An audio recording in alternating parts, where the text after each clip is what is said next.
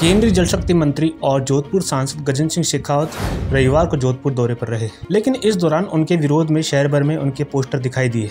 जोधपुर शहर में उनके खिलाफ यह पोस्टर चस्पा हो रहे थे। खास बात यह है कि जिस तरह साल 2018 के चुनाव के दौरान पूर्व मुख्यमंत्री वसुंधरा राजे का विरोध हुआ, उसी तर्ज पर ही शेखावत के खिलाफ स्लोगन नज़र आ रहे हैं। मोदी से बैर नहीं, शेखावत की खेर नहीं। जोधपुर में लग गए शेखावत के खिलाफ पोस्टर। विरोध में लगाए गए हैं शहर में पोस्टर।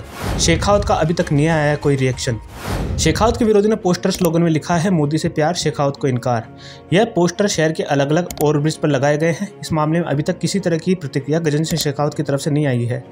दरअसल नाराज़गी इस बात को लेकर है कि शेखावत बीते दस साल से बीजेपी सांसद है और केंद्र में मंत्री भी हैं, लेकिन स्थानीय स्तर पर राजनीतिक कार्यकर्ताओं और नेताओं से उनका संतुलन लगातार बिगड़ रहा है। ज़्यादातर कार्यकर्ता इस बात से भी नाराज़ है कि शेखावत भाषण अच्छा देते हैं, लेकिन उनके काम नहीं होते हैं।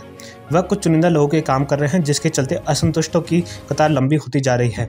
हाल ही में हुए विधानसभा चुनाव में अंदर खाने से खबरें थी कि शेखावत कई जगह पर अपने समर्थकों को टिकट दिलाना चाहते थे, हालाँकि वे उसमें सफल नहीं हो पाए। इसके चलते भी उनके विरोधों की संख्या बढ़ गई है। पोस्टर लगने के बाद फाड़े भी गए हैं, लेकिन शहर में चर्चा का विषय बन गया है।